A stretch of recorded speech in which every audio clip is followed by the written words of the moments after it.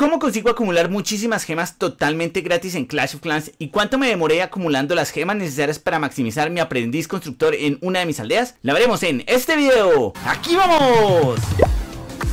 Hola muchachos, bienvenidos a un nuevo video, mi nombre es Joe McDonald's y el día de hoy con un video un poco diferente donde haremos un speedrun para maximizar el aprendiz constructor y mostrarles a ustedes cómo es que yo adquiero tantas gemas en mis aldeas para avanzar más rápido en Clash of Clans. Y es que muchos de ustedes piensan que por ser creador de contenido me llueven las gemas y que todo el progreso en mis aldeas es a punta de dinero. No falta el troll que dice, Joe es que para ti es muy fácil porque todo te lo gemeas con dinero. O Joe, tú eres mero gemeo y pay to win. O la consabida, Joe, suenas como Gohan el de Dragon Ball. ¿Qué? En fin, así que la idea de este video es mostrarles cómo es el proceso que yo hago en mis aldeas para maximizar mi aprendiz constructor y mostrarles el progreso día a día de una manera más detallada para demostrarles que yo no compro gemas y todo es ganado totalmente gratis. Así que toda esta historia comienza el 20 de junio tras la llegada de la actualización del aprendiz del constructor, donde todo se salió de control y todo el mundo comenzó a verse loco preguntando si se debe comprar o no este pequeño constructor, porque muchas personas pensaban que no valía la pena o que era una estafa. Yo la verdad con mi aldeita denigrante y por razones que explico con más detalles en este video que les pongo aquí, que les voy a dejar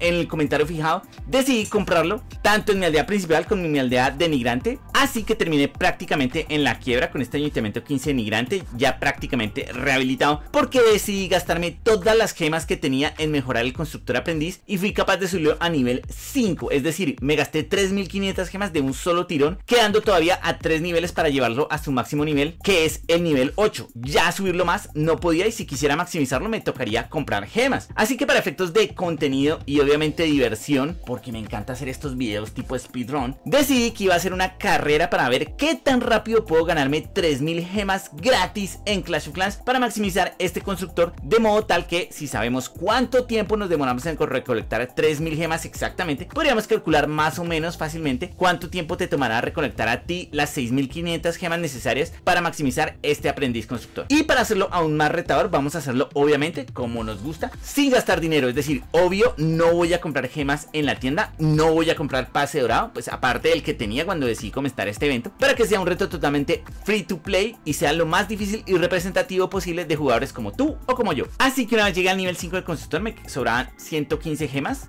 ya no podía subirlo más de nivel y así que para hacer este cálculo quería deshacerme de todas, absolutamente todas las gemas que me quedaban, así que tenía que buscar en qué gastarme exactamente esas 115 gemas. Así que puse a construir una trampa pequeñita y miré que podía gemear una mejora que estaba por terminarse en el laboratorio y con esta trampa pequeñita solamente tenía que esperar para gemear ambas cosas para sumar 115 gemas exactamente. Así que tras un cálculo de tiempo gemé la mejora y la mejora de la trampita y quedé totalmente en la quiebra. Cero gemas, algo que nunca me había pasado. Y ahí pueden ver el constructor que me quitó lo único que tenía de gemas. Así que desde aquí comenzamos esta carrera arrancando desde las cero gemas. Así que comenzamos primero eliminando estos obstáculos que tenemos en mi aldea principal y acelero mi base del constructor y elimino todos los obstáculos posibles. Y uff, 32 gemitas ahí de primerazo. Comenzamos muy bien. Uy, caja de gemas, genial. Llevamos 57 gemas. Y tengo algo en mi mina de gemas. ¿Cuánto tenemos ahí?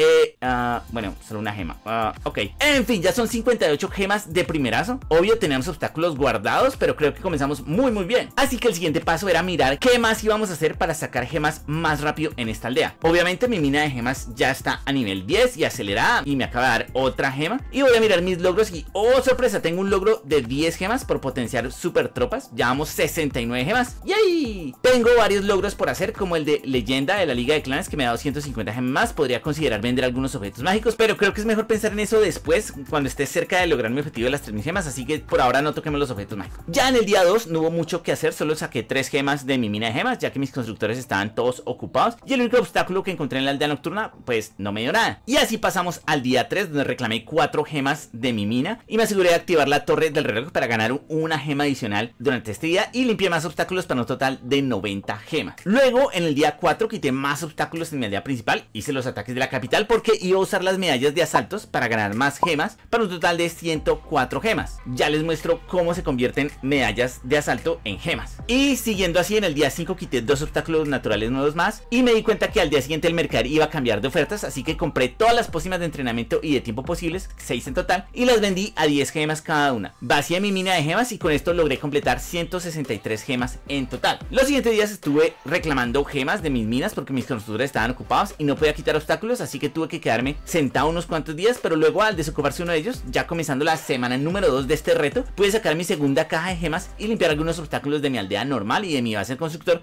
lo cual pues al principio no quería hacerlo, pero me di cuenta que también podía eliminar estos obstáculos de piedras que desafortunadamente no iban a volver a salir. Pero estaba desesperado por gemas, así que decidí quitarlos. Y pues, ¿qué puedo decir? Este es un speedrun de gemas y hay que hacer lo que tengamos que hacer para tener la mayor cantidad de gemas lo más rápido posible. Después de eso reclamé 10 gemas más de mi mina y logré 248 gemas. Luego en el día 12, ya tras haberse desocupado otro constructor, quité varios obstáculos de mi aldea principal y de mi base del constructor y reclamé 18 gemas de mi mina y reclamé los premios del juego del clan reclamando 160 gemas de los premios y le vendí al mercader la pala y la runa de oro del constructor que me gané para un total de 546 gemas en total. No lleva ni dos semanas y lleva en la sexta parte de mi objetivo de estas 3000 gemas, así que iba muy motivado que completaría mi objetivo pronto del constructor aprendiz al máximo. También me aseguré de hacer los ataques de la capital del clan porque iba a seguir necesitando todas esas medallas para ganar más y más gemas. Luego, en el día 13 de este reto me di cuenta que se iban a reiniciar las recompensas del mercader dentro de unas pocas horas de nuevo, así que vendí las pociones que me había ganado con las medallas de asaltos de la capital para recolectar 60 gemas más. Y aparte de eso compré 15 anillos de muros que también vendí por gemas, lo cual me representó en total 75 gemas más. Y luego retirando los obstáculos de mis aldeas, tanto diurna como nocturna y con lo de la mina de gemas completé 713 gemas en total. Luego de esto pasaron 3 días y comenzó la liga de guerra de clanes y ahí conseguí mi tercera caja de gemas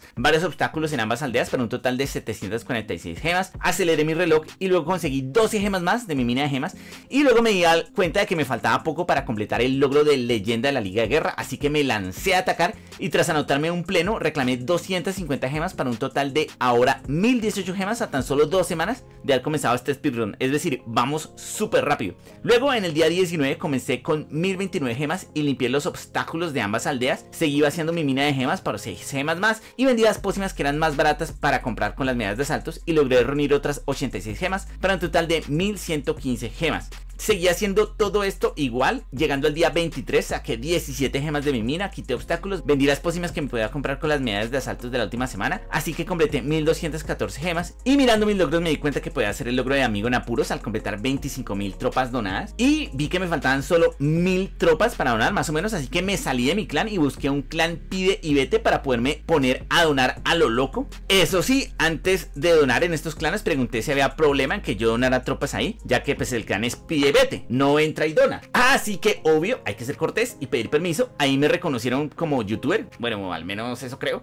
Y me dejaron donar algunas tropas, aceleré mis cuarteles con una pócima de entrenamiento para poderle sacar más rápido y poder donar mucho más ese día. Y con todo esto llegamos al día 26 de este reto. Al otro día seguí donando y donando y pude donar casi 500 tropas y completé el logro de chozas destrozadas por 100 gemas más. Y aparte de eso, pues lo de todos los días, quitar más obstáculos, sacar gemas de mi mina de gemas, acelerar la aldea nocturna para mayor rendimiento. Y con todo esto llegué a 1328 gemas, terminando el día 26. Posteriormente, ya en el día 29, tras unos días de haber estado ahí en ese clan, donando y donando, pude lograr el logro de amigo en apuros para 250 gemas más. Y luego de eso seguir limpiando mi aldea, vendí todas las pociones que tenía acumuladas en el pase de plata de los desafíos de temporada y vendí las tres pócimas de entrenamiento y las tres pócimas del tiempo que iba a comprar con las medallas de asaltos de esa semana y luego también seguí limpiando mi aldea y ya con todo esto llegué hasta 1735 gemas en poco menos de un mes, es decir, una cosa increíble. Luego en el día 31 me salió otra caja de gemas, eh, estoy viendo que más o menos sale una caja de gemas a la semana, esto ya era como la número 4, la número 5 y retiré otros obstáculos reclamé 20 gemas adicionales del logro Machacamorteros para un total de 1800 gemas, llegando al 60% de este reto. La semana siguiente se renovaron las ofertas del mercader, razón por la cual aparte de limpiar mis obstáculos, compré las tres pócimas del entrenamiento y las tres pócimas de tiempo que iba a poder comprar con las medallas de ese fin de semana para volverlas a vender por gemas. Y aparte de eso reclamé premios del pase gratis y otros objetos que pude vender por 50 gemas adicionales. Y con todo esto ya estaba por encima de las 2000 gemas, a poco más más de 5 semanas de haber comenzado ese reto. Y con todo esto, pues que ya se vuelve repetitivo, pues llegamos al día 43 de esta misión, donde completé de nuevo los asaltos de la capital, con el cual me dieron 1200 medallas en el clan de suscriptores, las cuales pude usar para comprar las respectivas pócimas del mercader y las vendí por 60 gemas más. Pero no solo eso, sino que también estaban pendientes los premios de los juegos del clan, los cuales venían con una pala y muchas gemas, de las cuales me dieron 160 gemas adicionales. Después de eso limpié mi aldea, saqué las gemas de la mina de gemas y rompí como la sexta caja de gemas para un total de 2322 gemas. Así que con todo esto pues ya llegamos al día 46 que es el último día de este reto,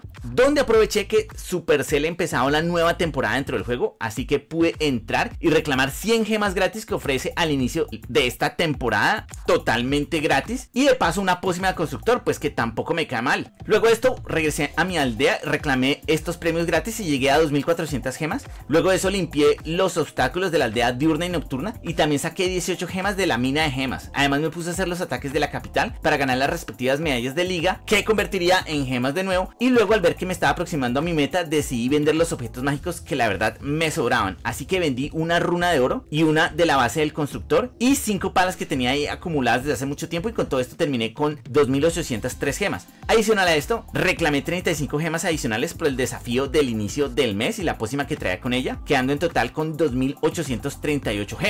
La verdad, mucho más rápido de lo que pensaba, así que analizando y viendo muy bien lo cerca que estaba mi meta de las 3000 gemas, decidí lanzarme con el todo por el todo y reclamar las dos pócimas de entrenamiento que tenía en mi pase de plata de la nueva temporada y vender las pócimas que también me sobraban de la base del constructor, pócimas de entrenamiento. Con todo esto llegué a 2998 gemas, así que decido apostarle a aquel último obstáculo que me quedaba en mi base del constructor y que ojalá me diera las dos gemas necesarias para llegar a la meta. Así que le dije a Otto que retirara este obstáculo y me terminó dando 6 gemas, quedando en 3004 gemas a tan solo 46 días de haber comenzado este increíble reto, es decir, en menos de 7 semanas. La verdad me pareció increíble haber obtenido en todas estas gemas tan rápido, así que inmediatamente me fui a donde me aprendiz constructor y completé los últimos 3 niveles de mejoras, gastándome las 3000 gemas para maximizarlo y tener este increíble acelerador de constructores al máximo, terminando de hacer la inversión total de 6500 gemas que estoy seguro que me van a servir para terminar de avanzar esta cuenta secundaria mía y ya las gemas que gane de aquí en adelante pues ya las podré gastar en lo que quiera, el duende constructor, en decoraciones, en algún otro equipo que no tenga. Y entonces, haciendo una aproximación, si en 46 días me hice 3004 gemas, podría hacerme 6500 gemas para comprar el aprendiz constructor y llevarlo al máximo en aproximadamente 99 días, haciendo la proporción, lo cual equivale a un poco más de 3 meses de ahorro máximo de gemas. Así que ahí lo tienen muchachos, gracias por ver hasta el final este speedrun de gemas. Recuerden código yo en la tienda, suscríbanse, like y chao chao chao.